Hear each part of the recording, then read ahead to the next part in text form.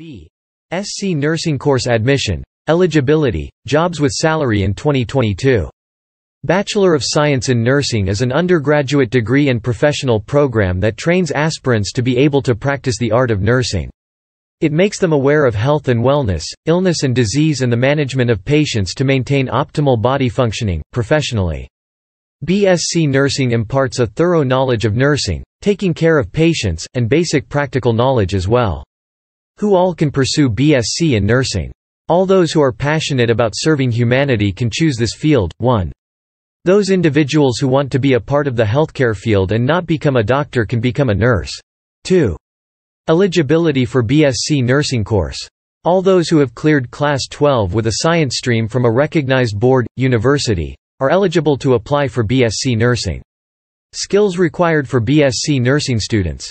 To be a successful nurse, specialized skills are needed. The skills we learn through our education program are called hard skills. It is essential that we recognize some important soft skills that cannot be ignored to achieve success as a nurse. Communication. 1. Teamwork and networking. 2. Empathy and patience. 3.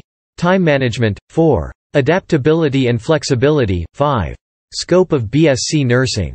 Nursing has a huge scope as more and more nurses are required to assist doctors in healthcare facilities all over India and the rest of the world. To provide one-to-one care to patients in a healthcare facility, nurses occupy the most indispensable position.